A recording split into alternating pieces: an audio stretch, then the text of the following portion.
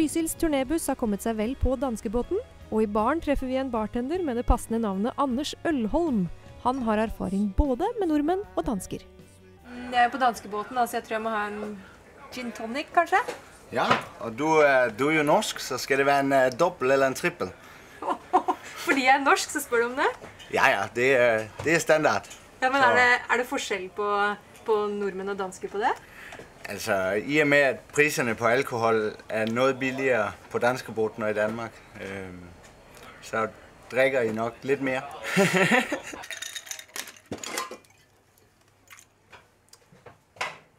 Takk. Sådan.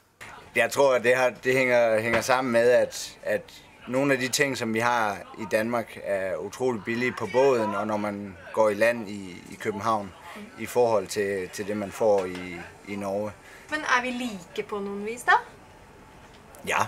Øh, altså, jeg synes, danskere og nordmænd minder utrolig meget om hinanden. Altså, folk kommer her på båden for, altså, for at feste og hygge sig og have det sjovt. Jeg kan, kan rigtig godt øh, lige nu. Som man også fortæller gæsterne, som måske er med på båden første gang, det er, at de skal stå op klokken 7 om morgenen for at se indsejlingen af Oslofjorden.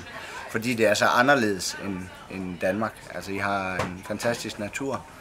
Jeg synes, nordmænd er et rart folkefærd.